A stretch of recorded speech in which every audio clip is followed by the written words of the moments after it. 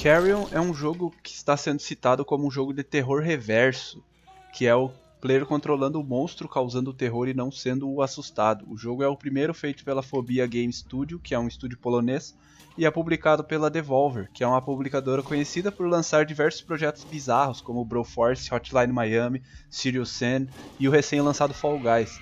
Sempre jogos com muita cor e estilo visual e em vários exemplos com muito sangue. Em Carrion, o player controla um monstro que é basicamente uma amontoada de carne viva com tentáculos.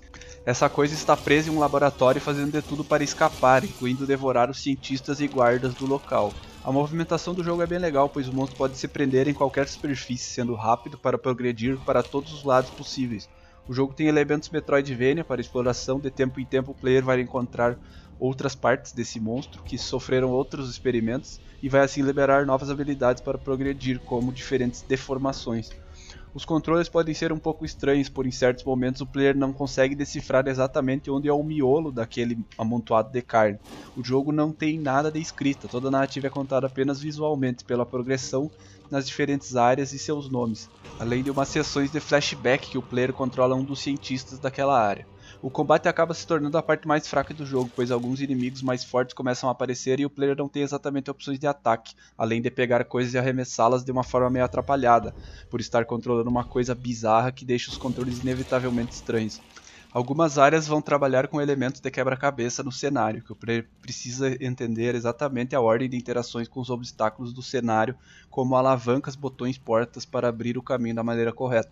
E essas são as partes principais do jogo do que se trata de gameplay, apesar de não serem complicadas e o player nunca se sentir tão perdido assim. Apesar de ser pixelado, o jogo é muito bom em criar uma atmosfera, a música dando uma certa tensão e as pessoas soltando gritos histéricos ao verem o monstro e o som dela sendo mastigadas, caso o player faça questão de finalizar o trabalho. Tudo muito bem representado. As áreas têm uma certa variedade que são boas para uma base secreta cheia de laboratórios, e o jogo não exige tanto de o player retornar caminhos longos por onde já passou, sempre usando atalhos muito bem. Carrion teve uma certa coragem em sua personalidade, tanto em questão de surpresa na narrativa quanto escolhas no design, por exemplo. Uma coisa curiosa é que o jogo não tem nenhum tipo de mapa, apenas um botão que usa uma espécie de sensor de proximidade para o próximo ponto. Que até faz sentido para o monstro que está sendo controlado, mas não vou dar spoiler para explicar o fato de ser uma crítica minha. Sem falar que às vezes pode faltar um pouco de clareza no visual do cenário, principalmente nas partes do, de controlar o humano. O jogo constantemente apresenta novas melhorias, nunca parando de introduzir algum elemento novo para o ciclo de progressão, e o jogo começa a aprofundar, apresentando novos tipos de obstáculos, incluindo áreas inundadas.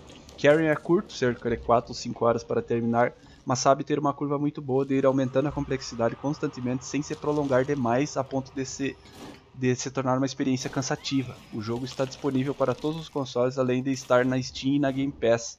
É um jogo divertido que é bem único por ser ambicioso e tentar algo diferente. Minha nota final é 7 de 10.